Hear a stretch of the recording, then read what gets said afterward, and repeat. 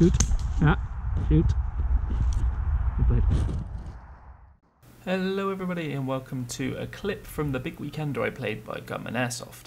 Now in this clip I've really taken my time to move up and not realising it I ended up walking straight upon the government base. I found a nice slightly elevated position so I can get some longer shots and started to pick them off.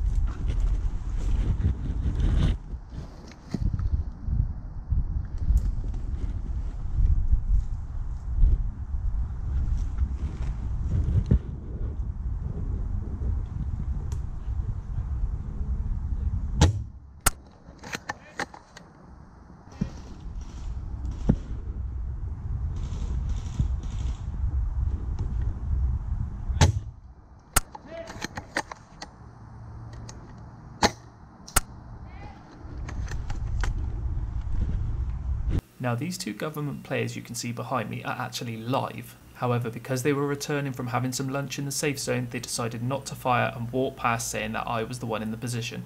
Fair play guys, appreciate that.